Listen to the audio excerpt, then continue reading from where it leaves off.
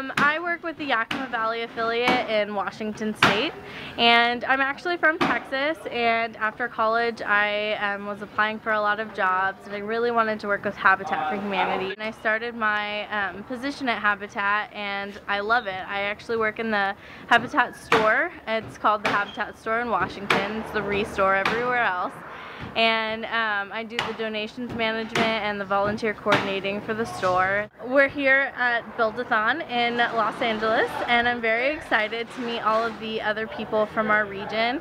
We um, have about 75 uh, AmeriCorps that are here working together to um, revitalize this neighborhood. And um, we're getting to know each other and it just brings the AmeriCorps together in the habitat um, world. And we're laying flooring and putting in plumbing and most of us have never done anything like this before but it's so much fun. And um, it's just a great experience to come and see how other affiliates do what they do.